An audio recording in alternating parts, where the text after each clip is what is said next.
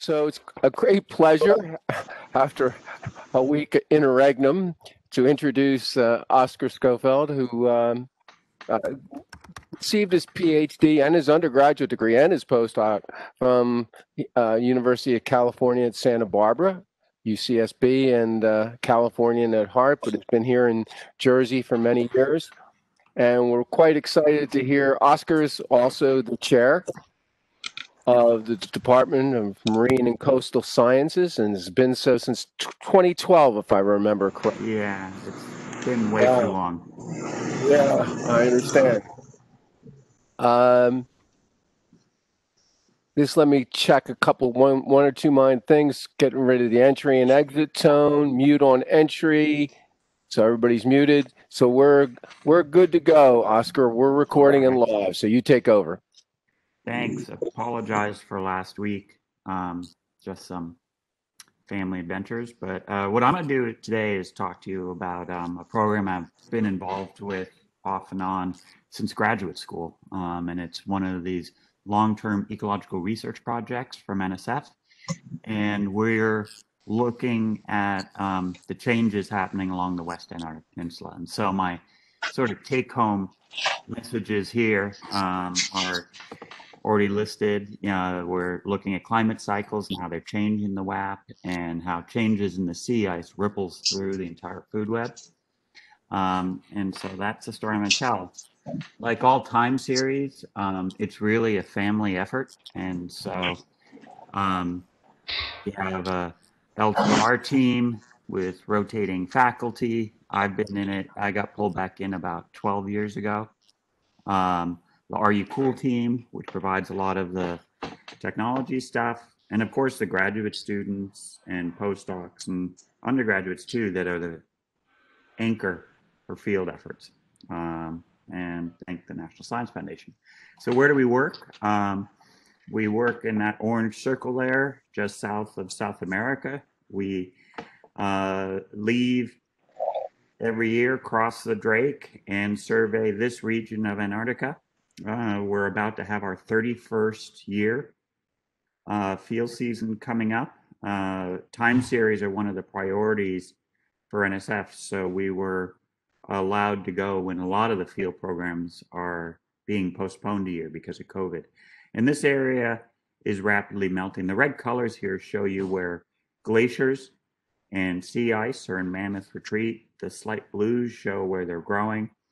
And this is one of the fastest melting places on the planet. Here's our study grid. And the way the program works is we really have two uh, efforts. At Palmer Station, which is here on Anvers Island, um, there's a field station there, and we essentially have a team that's present there six months of the year. And so our research scientist is deploying in about three weeks to go down. Um, and so we essentially study the seasonal dynamics from Palmer Station, um, and it's also the location of a major penguin colony. And then every January, uh, we have a long, uh, about an eight week cruise, and we sample um, sort of fixed grid stations. Those are the red dots. We also put in moorings, those are the green stars. And the lines represent uh, autonomous glider flights um, surveying where the ship can't be. And so uh, what we have in the WAP is really a climate gradient. So up in the north, the system is transitioned. I'll show you some of the data um, to be a warmer, wet, more maritime climate. It's less of an Antarctic system. And then Palmer is right at the border uh, between the transition zone. And then we still have a cooler, drier polar system to the south. Um, and so we get a snapshot every January of the spatial picture, and then we've got the time series within the seasons at Palmer Station. So this area is changing very quickly. Uh, the upper left shows you winter air temperature trends uh, since the 1950s.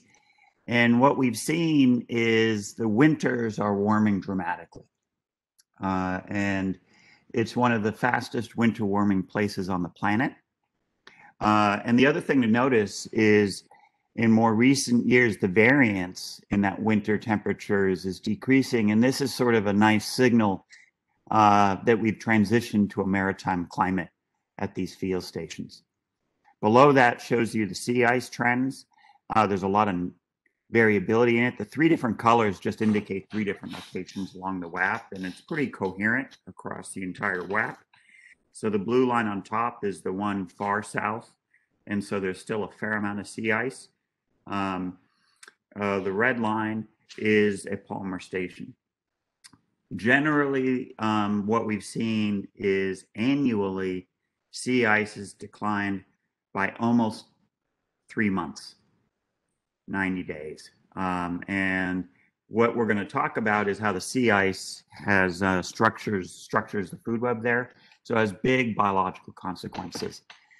And just sort of as a visceral way to look at it, uh, on the right is pictures of the retreating Marr Glacier right behind Palmer Station. Um, and what you see is the glacier is retreated uh, significantly. So this whole area here, Palmer Stations in that red circle. Um, and so actually what is kind of wild in my mind is as the glacier is retreated, um, we're discovering new islands. And so uh, we're actually able to name the islands as we discover them. So uh, this area has seen dramatic change in my professional lifetime. My first trip down there was in 1988, and the glacier was great for skiing, and now it's just an icy mess. What's the driver of the change? It's really dominated by the southern annular mode. It's the sort of the dominant mode that impacts the atmospheric variability over Antarctica. And what we see is if we're in a positive SAM, that's the southern annular mode, or a La Nina, we get strong winds from the South Pacific blowing up against the uh, continent. And those northerly winds result in less sea ice. And we've been sort of locked in to a positive SAM mode uh, for, for well over a decade or two. Um, and so these climate cycles influence the prevailing winds. But it's not that those winds carry heat into the continent. The primary source of heat is actually the Antarctic circumpolar current. So it's the one current unimpeded by a continent. It's uh, about 300 meters depth, and it's the largest current on the planet, and it's balmy. It's four degrees Celsius. Um, and so when we get these positive SAM La Nina wind patterns, you essentially upwell um, this circumpolar current onto the peninsula, as well as uh, Pine Island Glacier and into the Amundsen Sea, where there's a lot of those reports of runaway ice sheet collapse. Um, so it's really the deep ocean that's the primary heat source. And you can sort of do the back of the envelope calculation and calculate how much the atmosphere is heated. And what you find is this current is the only uh, source with enough heat to drive the heating and melting we've been seeing. So um, the deep ocean is a driver here. And what happens is, is the circumpolar current swings around, let's go back here, swings along the peninsula. And one reason that we see so much melting along this continent um, this part of the continent is because this is where the circumpolar current impinges closest to land. Um, the other places we're seeing uh, melting and heating is in the Totten area, which is over in this area here. Um, and the current runs along the continental shelf and continental slope. Some irregular bathymetry there. And the current breaks off into small eddies that are transported um, across the continental shelf and essentially release heat as they do that. Um, and it also drives the penguin ecology, and I'll talk about that. These eddies are very, very hard to find. They're about 30 kilometers um, in size.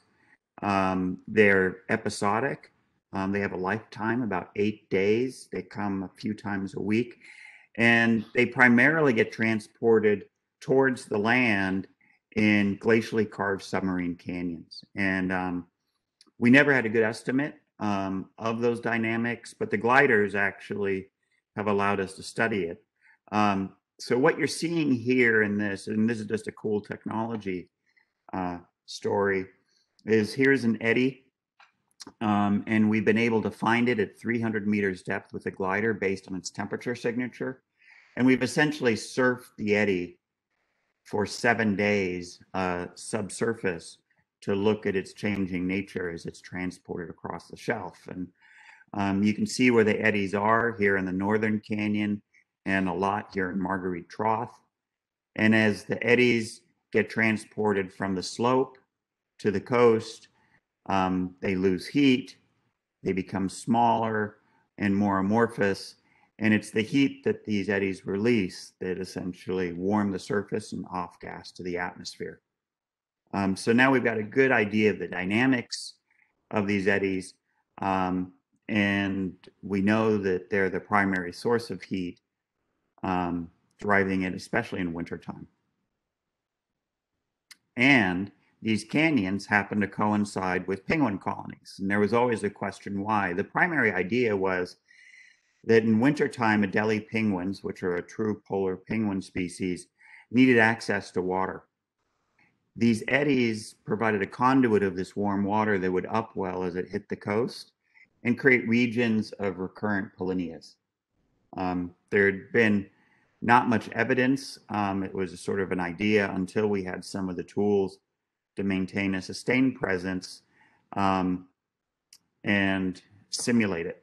So um, one way we've been studying these processes is using numerical models. We use the Regional Ocean Modeling System working with Jeff Dinniman and Jessica Graham.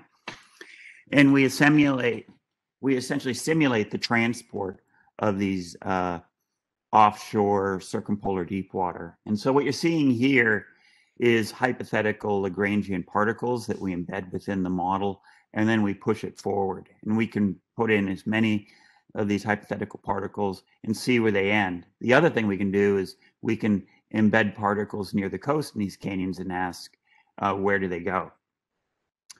Take home message is um, here we have the continental slope in our model grid. Here's Palmer Deep at Anvers Island that we're very interested in. And about 20 to 30% of the particles out in the slopes, especially in close proximity, do reach these canyons where the penguins are.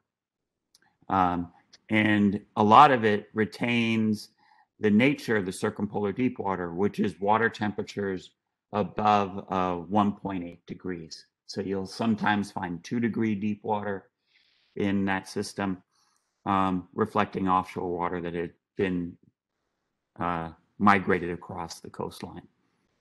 And so we have a source of hot water reaching these canyons that were from the circumpolar deep water. And we believe that the upwelling of this warm water would have, in the past, when there was a lot of sea ice, um, had water access to the penguins. So, do we see that? Um, I'm going to show you a snapshot. This is Palmer Station at the penguin colony. This is again uh, using the gliders to do it. You can see the warm water at depth and you can see it upwell as it nears the coast. And so that hypothesis seems to be holding. If you go down to uh, Adelaide Island by Marguerite Trough, um, the island is very big. You have penguin colonies only on certain locations, and it's associated with these locations where we see this warm water being uh, upwelled and mixed to the surface. On the other side of Adelaide, where it remains highly stratified um, and there is no circumpolar deep water, you don't find penguin colonies. So the deep ocean and these glacially carved caverns essentially set up where you're going to find penguins along the peninsula. So we've been now sort of studying how the it's connected to the annual inner variability of the ice. And what we find is in a negative SAM year, it'll be a high winter sea ice year. Um, that will melt back in the summer. Um, and what it does do when you put this high ice on the system on the ocean is it protects it from the winter wind. And while you have a mixed layer depth, it'll still get pretty deep. The water water is pretty stable, and when you melt the ice back, it stratifies uh, pretty quickly. leads to big diatom blooms that then are immediately consumed by krill. In a positive SAM ice, you have much lower sea ice present on the system.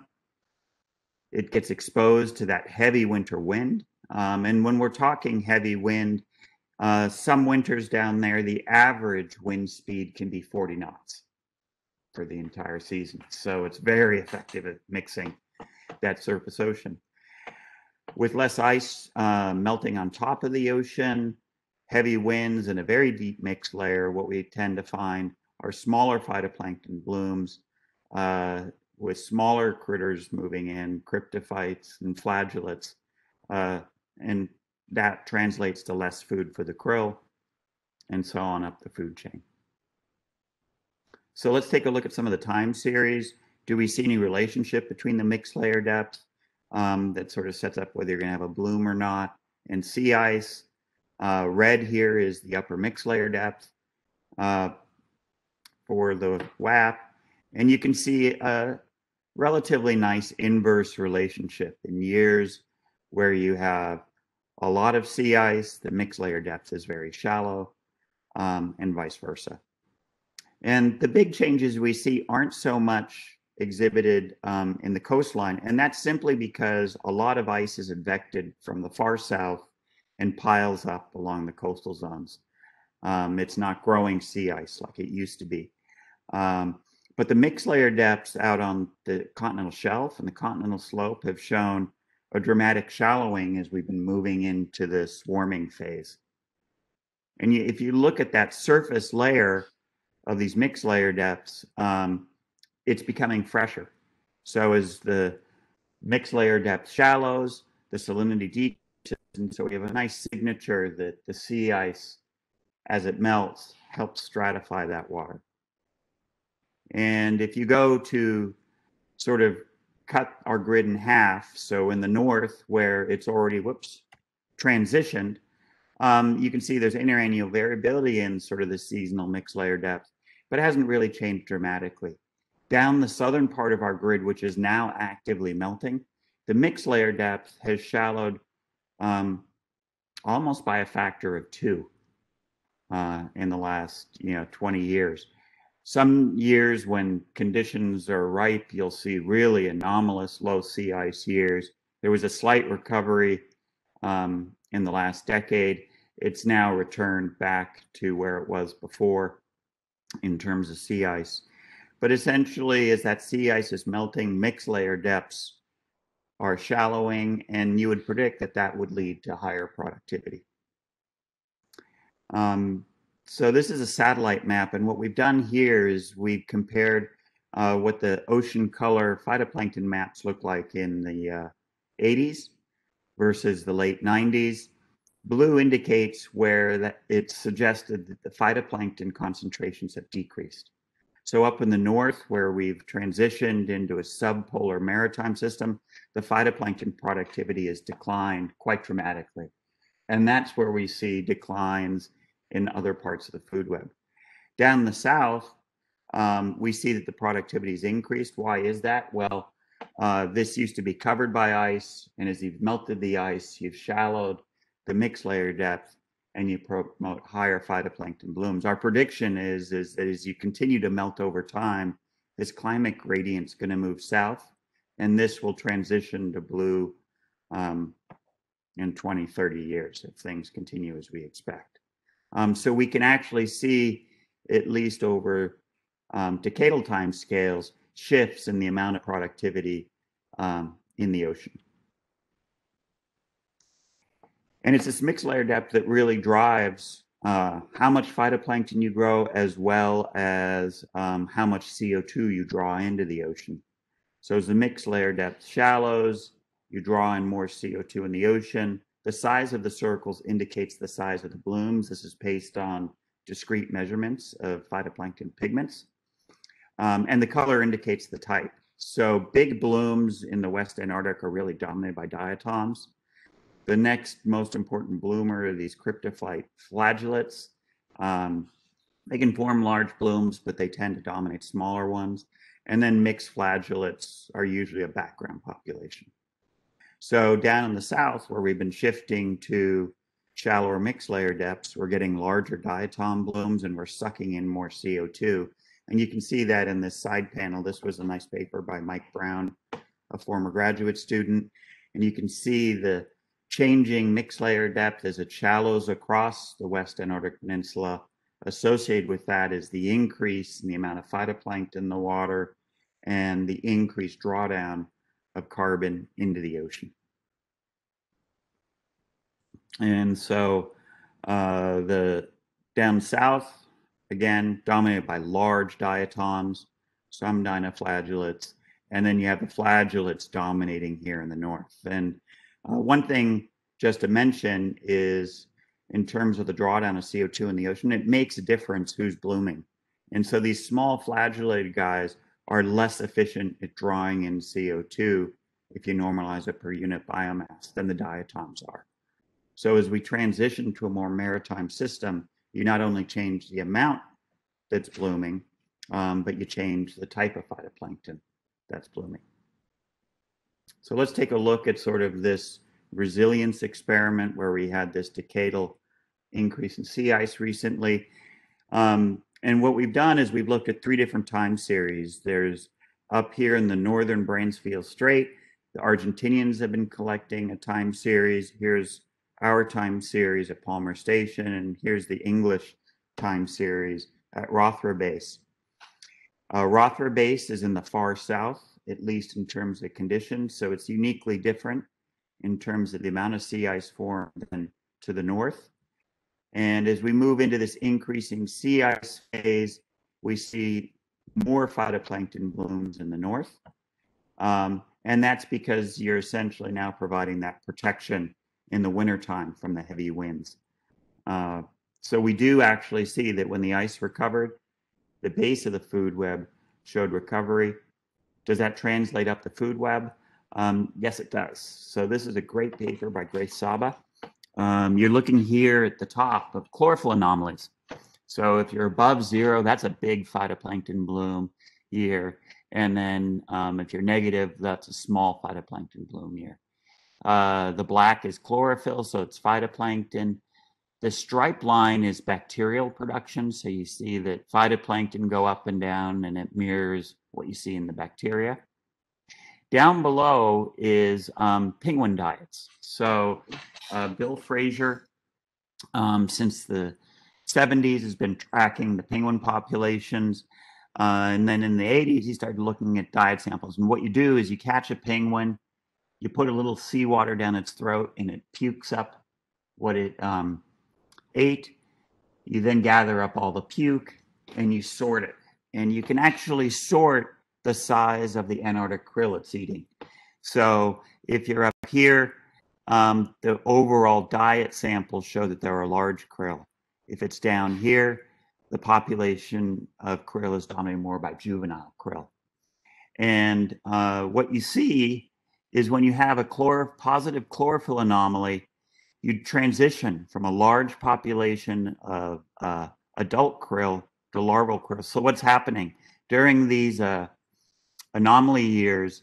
Uh, there's a lot of food for the krill. Little mood music turns on, and you have a huge recruitment event and you shift the demographics of the population to larval. Then over time, you can see the population grow, another chlorophyll anomaly, large recruitment year, reset, and you can see it recurring. Uh, when we started doing this analysis, it was we are transitioning into these increasing sea ice years over the last decade. And again, that sea ice increase has disappeared. Last year, there was um, uh, poor sea ice here. Um, and what you see is there's a direct translation of the physics and the circulation of the deep ocean driving phytoplankton productivity and translating right up to penguin diets and krill. The other thing to notice, just as I was sort of mentioning before, if you're looking at this chlorophyll anomaly and you're looking who is growing, uh, again, in a big chlorophyll year, diatoms dominate. Um, they're really the big driver here. And as you move to slower years, it's these flagellates that uh, become important. And so, does that have any ecological importance? Well, it kind of does. So the diatoms we find our location are relatively large, 50 microns and up often. Um, there are small diatoms, but we see lots of large ones. Uh, the flagellates, on the other hand, cryptophytes, are quite small, uh, really smaller than 10 microns, more around 7 microns in size. And that has a big impact on the krill. Krill feed with um, these arms that are feathered, and they sort of scoop the water and they shove all the food in their mouth. And it's a perfect strategy if you're harvesting these giant redwood diatoms. Um, very efficient at clearing big cells into their mouth. Um, the problem with small guys is they're small enough that they pass through these feathered appendages. Um, and so you see that if you move to a small flagellate population dominating, it directly translates into how much of that biomass is going to be consumed by the krill. Um, so what we find is uh, that not only when you move to these populations is there less chlorophyll present, it's grazed less efficiently by the krill. And so there's sort of a bottom up effect um, that translates directly into the krill success. The other thing, just to remind you, is when you transition to these small guys, is also when you see less CO2 being drawn into the ocean. So if we look at krill, and there's many different type of krill, the one you read about most of the time is Euphausia superba. Um, it's a few centimeters long, very good at grazing. You can see the green it's got there. Um, there's other types of krill, um, like E. crystallorophias. Um, this is a particular species that needs lots of sea ice. Um, and you can see that you have different responses between the two. For the krill, what we see are these cyclical patterns of recruitment. And this is out in the outer shelf. What I was showing you before was right by Palmer Station. Um, and what we're seeing is, is it's related to that phasing of the La Nina to the uh, positive southern annular mode. Um, and it's not a real significant correlation um, between the physics and the krill recruitment, but you do find a very tight, significant correlation to the phytoplankton. So hopefully a few more years of data will essentially allow us to uh, strengthen the relationship of how the physics is translating up to the secondary producers. So how about the higher producers? Well, this is what sort of started the time series. Bill Fraser, um, you know, started doing his thesis in the 70s, and he was tracking the Adelie penguin. So this is again one of the two true polar Antarctic penguins. Uh, the other one is the emperor penguin, Happy Feet. They're further to the south. Um, they're not really found in our grid. And at Palmer Station, we had about 15,000 breeding pairs. Whoops. when Bill Fraser started. And we're actually down, um, if you update this, uh, we're down to about 1,800 breeding pairs of Adelie penguins. So there's been a precipitous decline in this species. And this was the species that would have evolved to essentially take advantage of the polynya uh, to overwinter in the Antarctic. Doesn't mean that life disappears completely. Um, we're seeing now this invasion of Gentoo and chinstrap penguins. And these are subpolar penguin species, much more suited for northern conditions. Um, they don't do well in sea, heavy sea ice years. Um, and you can see that it, you're transitioning from sea ice obligate species like the Adelie to sort of ice avoiding species um, the Gentoo and the chinstraps. And so one thing driving this decline is the changing uh, food resources. Um, you know, given that they got to feed their chicks. And so the penguins come back to the same colony year after year. They have their breeding season. And when they lay their chicks, they've essentially got three months and they have to get about four kilograms of fat on the chick if it's going to survive that first year. Um, and it's a pretty um, dramatic cut off. Um, and so what we've been trying to now do is link sort of the food resources and the other stresses the populations are feeling to explain that declining uh, trend in the Adelie populations. So there has been a change in um, the krill resource. Um, but the other thing that's happening is, is we move to a maritime climate. Um, the atmosphere has become moister. It's become darker in the ocean, which affects, again, the phytoplankton in terms of photosynthesis, but it brings rain. And so we're seeing dramatic amounts of uh, increased rain. And for a chick, you can see this poor guy in the bottom left here, uh, wet and shivering. It puts a heavy thermal regulatory cost on that chick. And that comes at the expense of putting on fat. And you can sort of compare the two chicks there, a healthy one versus one that's not going to survive. Um, and we think that this thermal regulatory cost is actually one of the big drivers. You know, it could be offset with uh, ample food with krill, um, but we see that that's transitioning.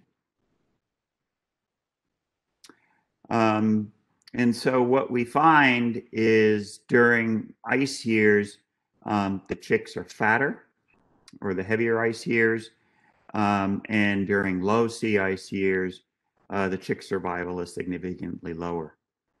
Um, so there is the sea ice effect that we think ripples through up through the food resources. You combine that with increased rain in warmer years, and we think that underlies the decline of the Adelie populations to the north. Associated with these rain events, it turns out there's very much increased storm activity in the years where you have low sea ice um, and increased rain. And part of where we're transitioning our program is to start looking at these landscape effects and sort of parse out what's the impact of what's happening in the ocean on the population versus what's happening on the land. We put radio tags on the penguins and the gentoos and the whales you'll see in a minute. Um, and we're sort of now comparing uh, their foraging areas. So the Adelies are there in blue. Um, you can look at sort of the average foraging. We have about 15 years of data now. You compare that to the Gentoo. So the Gentoo has a very large foraging region relative to the Adelies. The Adelies don't um, like to move around much. They like to stay close to their rookery. The Gentoos are really good in open water. Um, and what we find is in a heavy ice year versus a low ice year, in a heavy ice year, we have a very constricted uh, foraging zone. Um, the Gentoos, on the other hand, don't know how to deal with sea ice. They look incredibly awkward. They essentially run along the top of the sea ice, but I'm using quotes here, run. Um, and the other thing about sea ice, it's very irregular. It's not like a flat sea ice. And so they expend a huge amount of er energy in heavy sea ice years um, just trying to get into water and find the krill, while the Adelies are very much attuned in operating in sea ice and maintain a compact foraging area, which translates into less energy burned looking for food. The final factor that we're starting to take a look at is changes in other prey items. Um, there used to be a huge uh, incidence of uh, fish. And if you look over time, the proportion of fish in the diets has been changing. You don't really see it in this figure up there simply because that's when the sea ice recovered. Um, but if you go back in time in the 70s, 50% of the diet used to be fish for the penguins. And a fish, um, these are about five to seven inches. So one fish equals about 200 krill in terms of energy.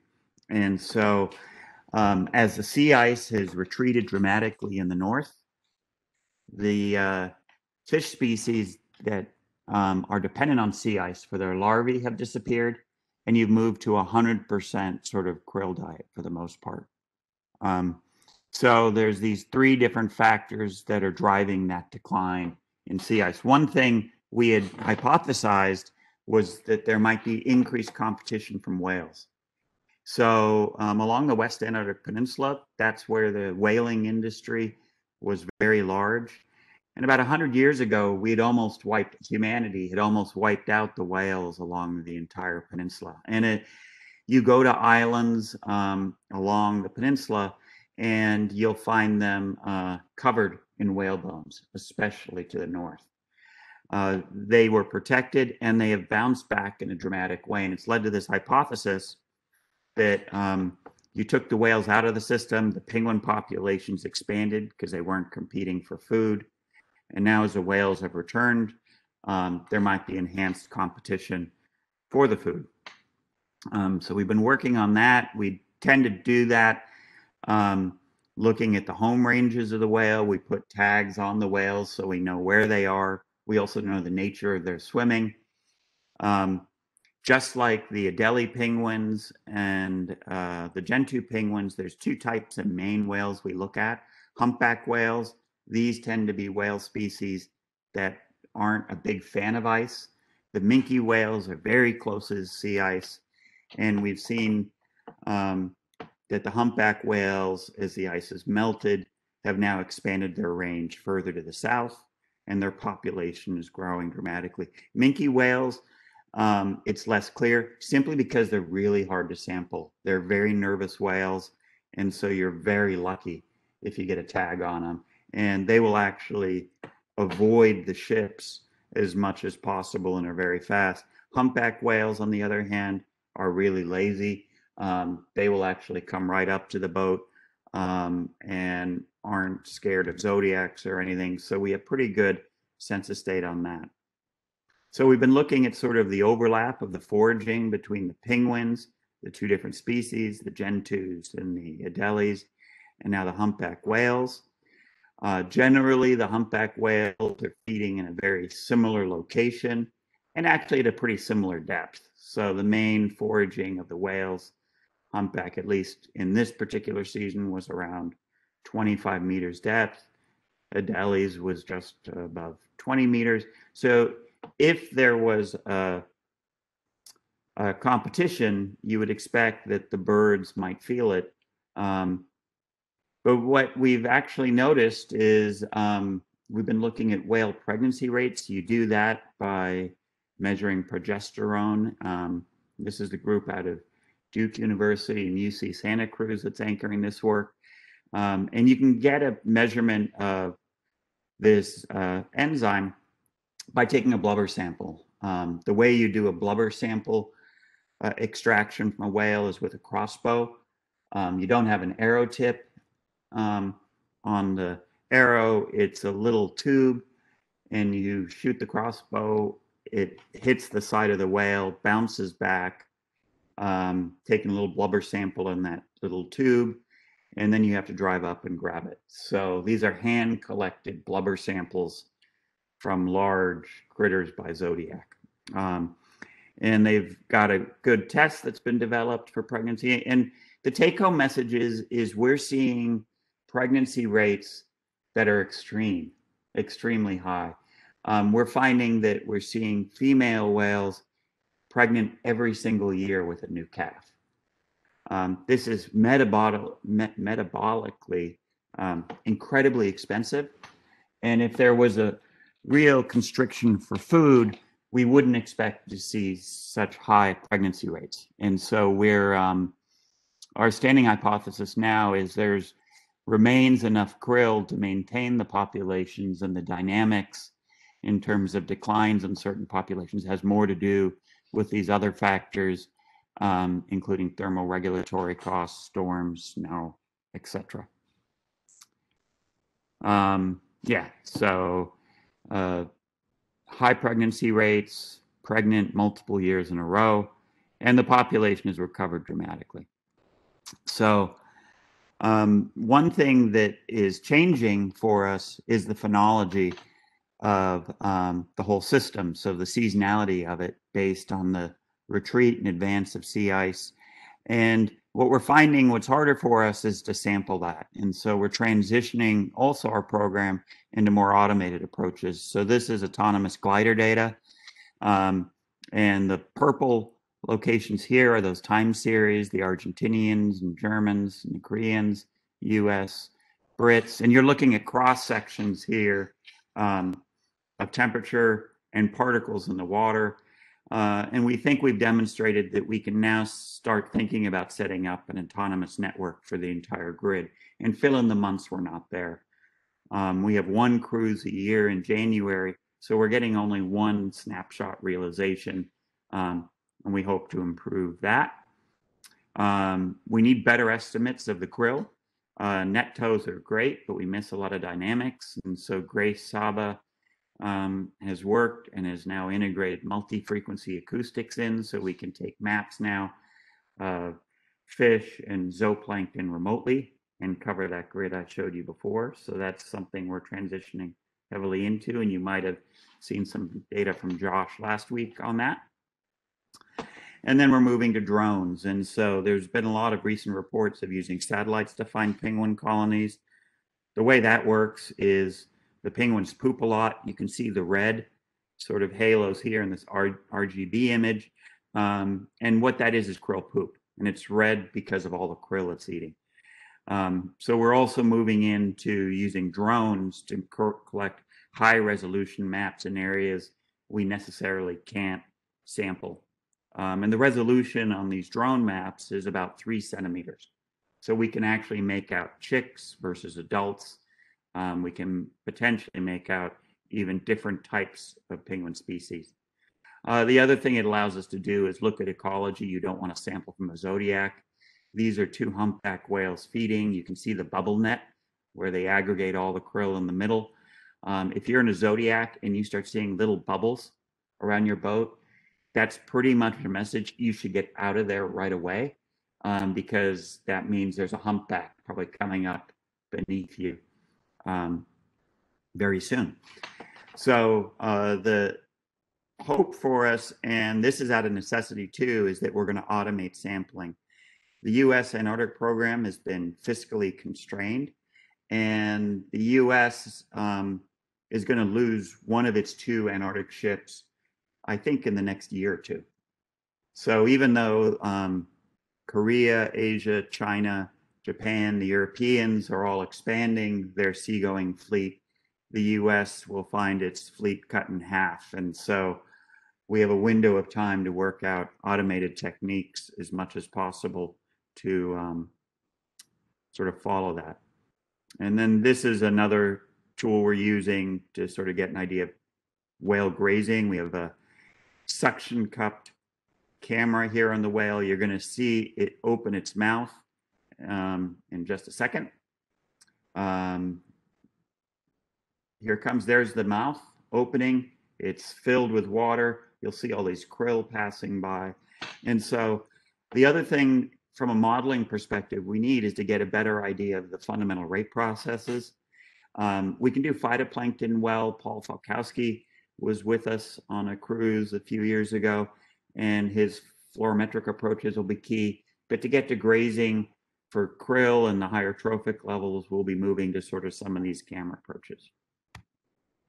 So in conclusion, climate cycles are modulating the presence of sea ice, and that's by modulating the position of that circumpolar current in the offshore waters. The amount of sea ice um, in the winter and spring has a big impact on the mixed layer depth, and that directly affects the phytoplankton that directly translates up to krill recruitment um, and then ends up in the diet of the apex predators.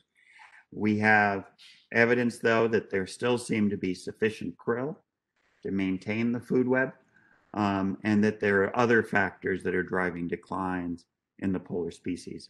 And we're going to be continuing to pursue with the cool group um, as many of these new techniques to fill in our sampling um, as it's likely we won't be able to be there as often as we were in the past. So thanks so much, Ken, for organizing all these talks. And um, I'm open for questions if anyone has any. Thank, thank you, Oscar. Uh, maybe just a quick comment from all these years that you've been going down there as to just how dramatic the changes are. So the dramatic change, um, what I have seen is in the northern regions, um, what used to have sea ice in October, November now is just open water. If you go to the Argentinian base, it used to have you know annual sea ice growth and retreat. It's open water all the time, and the glacial melt is so dramatic. What used to be a clear blue bay is now dark brown by the amount of sediment being washed directly off um, the islands. And the sediment wash off is large enough where if it's a very vigorous flooding event, the krill choke on small pebbles and sand. Um, and so uh, the glacier behind Palmer Station used to be right where the satellite dish is, and now I have to walk two football fields about to reach the base of the glacier. And that's just in my professional career. You know, um, the uh, krill um, story is still open, but if you talk to Bill Fraser, he essentially started in the 70s, and many of the islands he used to go to to do penguin censuses had thousands of penguins. And sort of the sad story is is he associated those islands with lots of noise with all these talking penguins and now it's silent. There are no penguins on those islands. There's wind. Um, and so from a science side it's an amazing opportunity to be able to follow entire ecosystem transitions in your lifetime. But your human part is actually really sad as you're seeing a whole different system move in So I have a question. Can you hear me? yep Okay, it's hard to know whether it's on or not.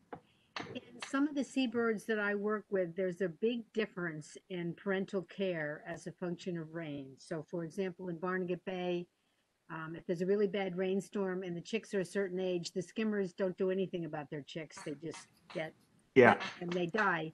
Whereas common terns brood them really extensively. And I'm wondering whether there's a difference in the penguins um, in their ability to whether they've ever uh, ex- experienced this and so they're not doing it. Because the skimmer chicks some years all of them all of them die from a really bad three day storm yeah. And none of so terns do Yeah, with the penguins, they're very um, uh, enthusiastic parents.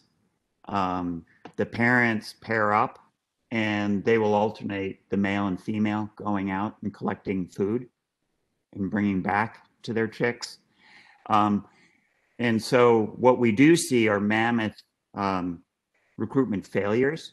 Those tend to be years when there's a lot of snow and the atmosphere is moist. And the Adelie penguins, when they build their nests, tend to build it in sort of outcrops that are protected from wind. Um, but they tend to be gullies. So if you get a lot of snow and a lot of snow melt, the eggs drown. Um, the other penguins um, don't seem to worry much. They tend to put some of their nests sort of in more open, exposed areas. They weren't evolved to sort of protect themselves from the heavy Antarctic winds as dramatically. Um, so if it's a very icy, heavy wind storm year, they get hammered from that. Um, but their eggs are up generally higher. So there is some really important life history components that drive these dynamics. Um, and that's a big focus areas for us now.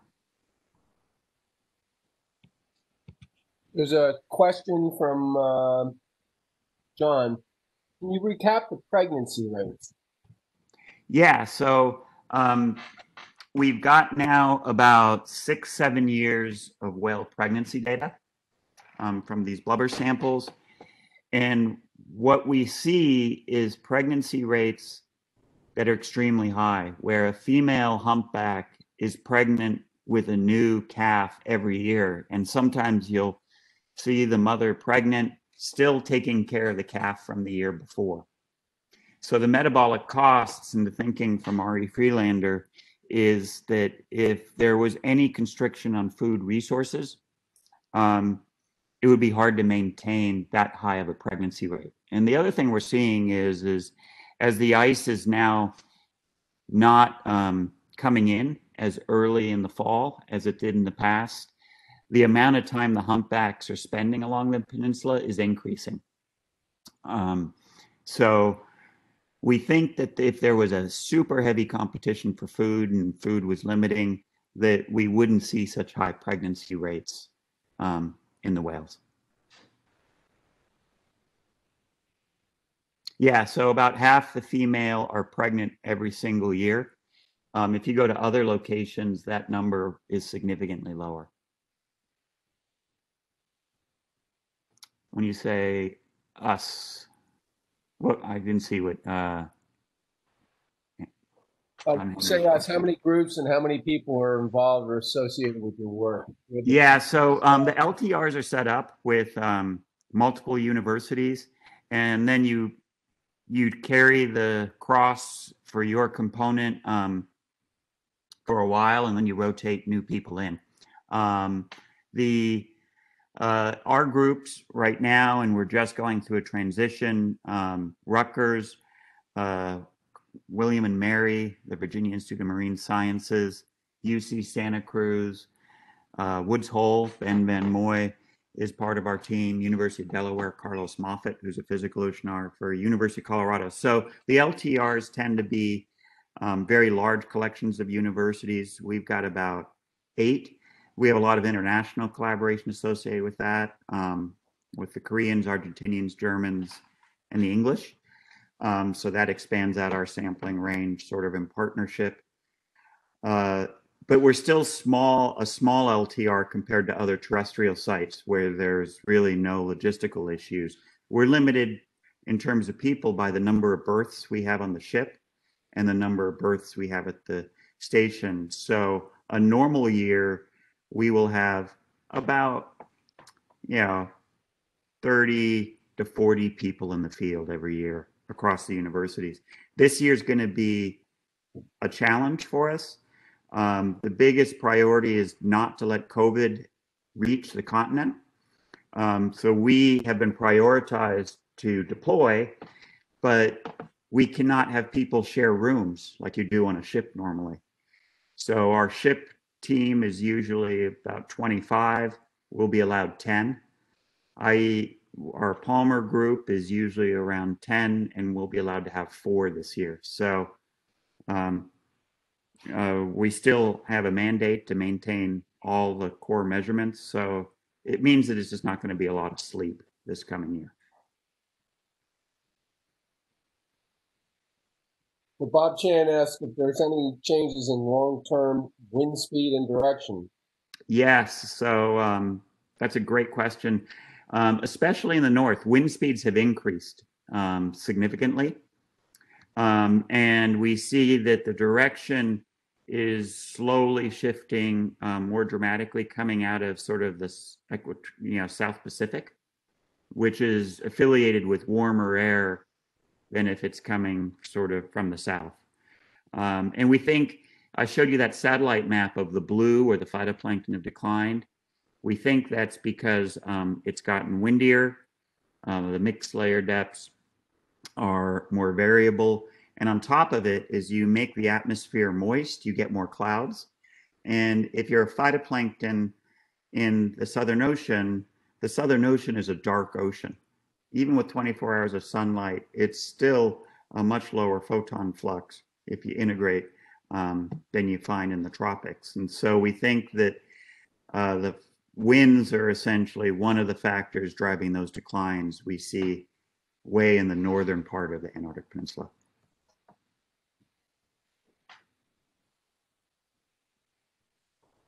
Other questions? Well, for no more, I wanted to thank you, Oscar. Thank you. Excellent presentation.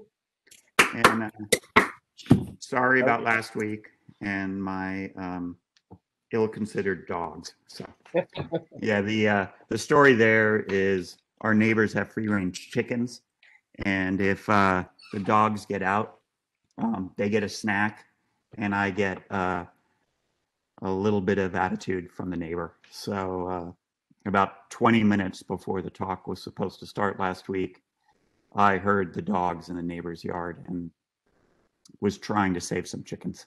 So Well, I'm glad you were able to give this talk. This has been a really fun series for the summer, and especially gives us a feeling for going back in the field. The good news is that a lot of us are seeing the ability to go back in the field. Uh, you told me at the beginning that you will be going back, albeit with a three-week quarantine yeah, before you get on the ship. That we is fly. awesome. We fly to Chile. They drive us directly to the ship, and we stay ta- tied to the docks, quarantined on the ship for three weeks before we're allowed to leave for the continent. So, Christmas will be aboard the Laurence Gould ship this coming year. Wow. Things that we think for our field. But it's uh, hopefully people are going to start getting back into the field like that, and even with the COVID protocols, we, we continue to collect data and, and uh, move forward. But thanks again, Oscar, and thank you for allowing me to record it. I'll stop the recording now, and uh, thank you everyone for attending. Thanks, everyone.